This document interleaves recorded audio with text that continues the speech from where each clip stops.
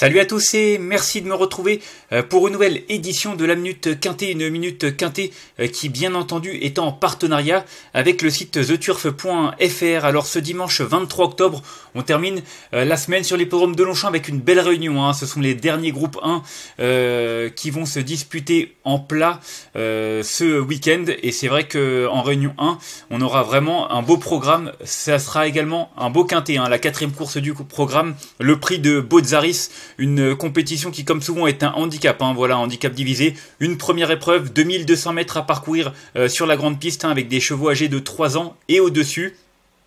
Donc voilà, 16 concurrents au départ, euh, voilà 2200 mètres à parcourir comme je l'ai dit, donc voilà pour le tableau euh, de cette compétition qui sera prévue vers 15h15.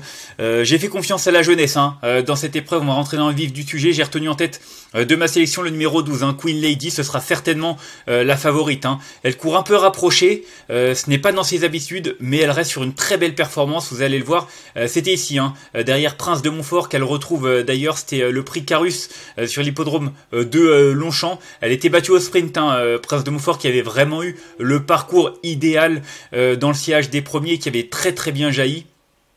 Et c'est vrai que pour finir, il n'a laissé aucune chance à cette Queen Lady qui avait également eu un parcours favorable. Hein.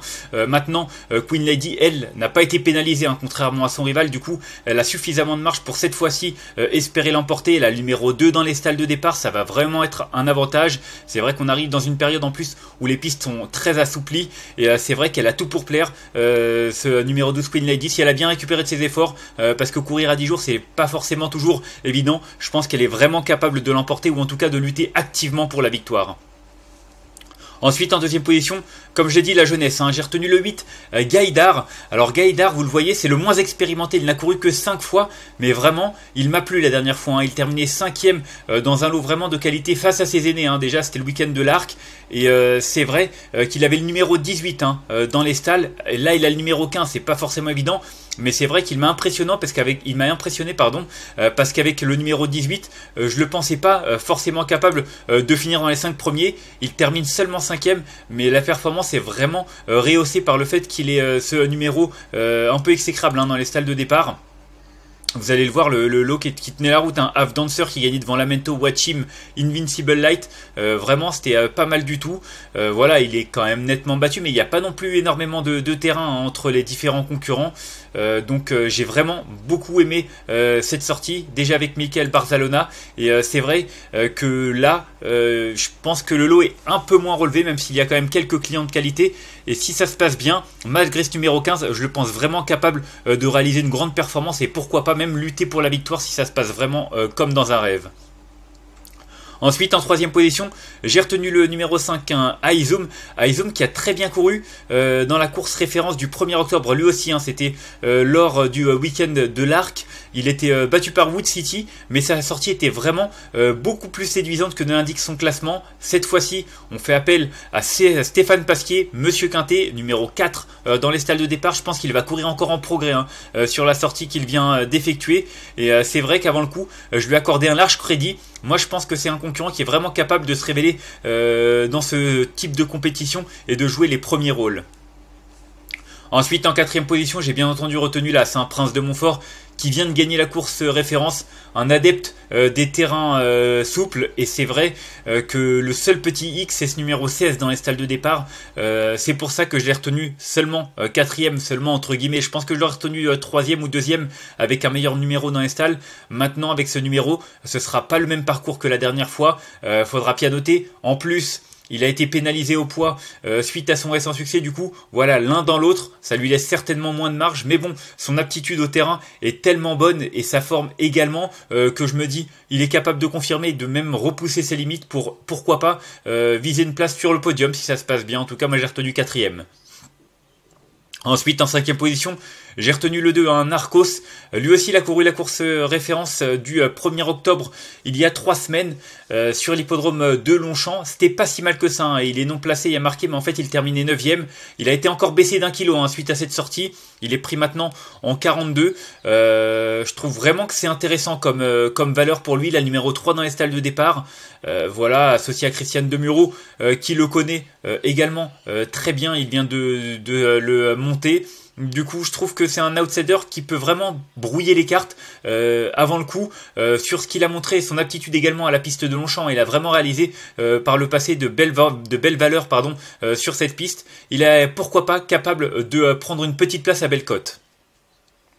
Ensuite, en sixième position, j'ai retenu le numéro 10, hein, le petit Prince Adi, qui effectue son retour hein, dans cette catégorie. Il vient d'effectuer une rentrée euh, victorieuse dans le sud de la France.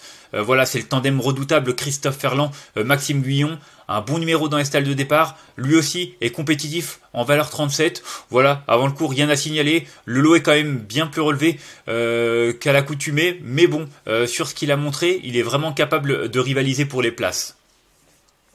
Ensuite, en septième position, j'ai retenu le 7-1 Wood City. Bah, Wood City, c'est bien simple, il vient de terminer quatrième de la course référence. C'est celui qui a réalisé la meilleure valeur hein, des cinq concurrents qui euh, se retrouvent après avoir participé à ce Qatar Prix de la place des Vosges. Et euh, c'est vrai qu'il sera une nouvelle fois associé à Tony Picon. Euh, voilà, rien à ajouter. En plus, il a le numéro 1 dans les salles de départ. C'est vraiment un excellent numéro. en théorie, il devrait vraiment bénéficier d'un parcours très favorable. Donc voilà, avant le cours, rien à signaler. il a bien couru, comme j'ai dit, a trois semaines, d'autant que le terrain était très souple hein, le week-end de l'arc. Et euh, moi, euh, je pense qu'il devrait confirmer euh, cette sortie et lutter au moins pour une place. Et enfin, en huitième position, j'ai retenu le numéro 9 en Blind Buy. Alors lui, il a vraiment un profil assez spécifique, vous le voyez, 2020 hein, dans sa musique. ça veut dire qu'il a connu plus d'un an et demi d'absence. Il avait débuté sa carrière par deux victoires avant de connaître une interruption de carrière très longue. Il est revenu cette année à la compétition.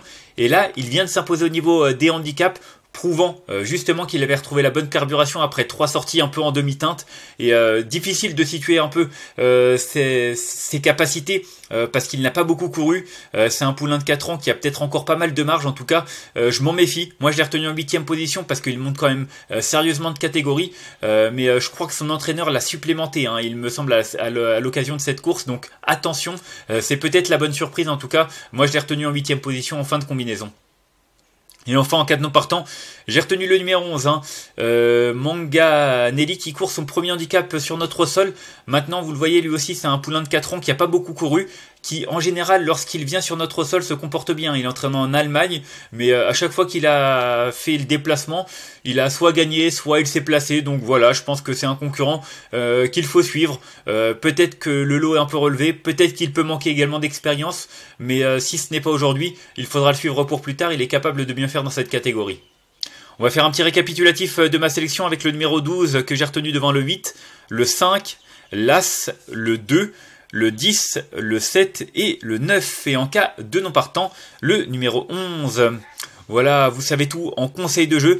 Bah écoutez, le 12, c'est la base intégrale. Queen Lady, on peut pas rêver meilleur engagement, c'est vraiment pour moi, pour moi la base en béton. Euh, derrière, le 8, Gaïdar, euh, vu la performance qu'il vient de réaliser euh, il y a trois semaines, je pense vraiment que malgré son numéro 15 dans les stalles, il est vraiment compétitif pour les toutes premières places et je lui accorderai également un large crédit face à ses aînés. Et en troisième base, le 5, je l'aime beaucoup. Euh, ouais, ça va être le 5. Ça va être le 5. J'hésitais, mais là, c'est avec son numéro 16 dans les salles de départ. Pour moi, c'est vraiment euh, pas une mince affaire et ça va être une question de parcours. Je préfère le numéro 5 avec Stéphane Pasquier que j'ai retenu troisième. Donc voilà, mes trois bases, euh, ce seront le 12, le 8 et le 5. Vous le savez, nous sommes en partenariat avec TheTurf.fr qui vous offre euh, jusqu'à 250 euros pour toute nouvelle ouverture de compte auquel nous ajoutons 3 mois d'abonnement VIP au site turf-fr.com. Donc voilà, si vous voulez en profiter, n'hésitez pas à cliquer sur l'un des nombreux liens que vous trouverez sur notre site. Moi, je vous retrouve euh, lundi. On débutera la semaine en province avec un quintet plus réservé à des galopeurs sur l'hippodrome de Marseille. Euh, en attendant, je vous souhaite de bons jeux à tous et un bon week-end. Bye bye.